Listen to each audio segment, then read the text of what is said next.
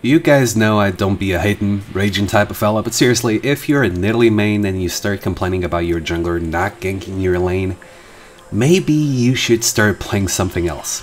And another thing that I really love about solo queue is that you always have someone ready to flame the mid laner for losing the lane. How about you do something about it instead of raging?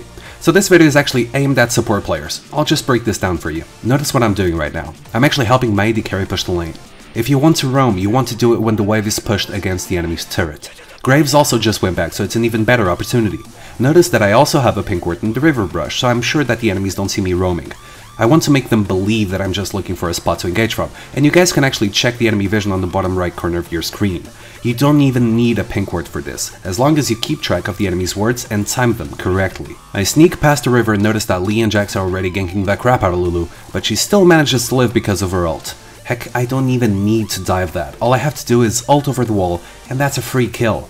So what happens next? I make sure I let Thresh know I mean business by engaging on him, we back off, clear a couple of wards, and push down the mid lane turret, which actually helps Nidalee get out of mid and out of a disadvantageous situation. Do you know what happened afterwards? She started roaming, landing craploads of spears, and carrying the game. So how about we stop complaining and start doing something to win games? That would be so cool. You know what else would be cool? You guys clicking the lantern. It truly does help me out, but hey, I'm a jackass. I won't blame you for not doing it.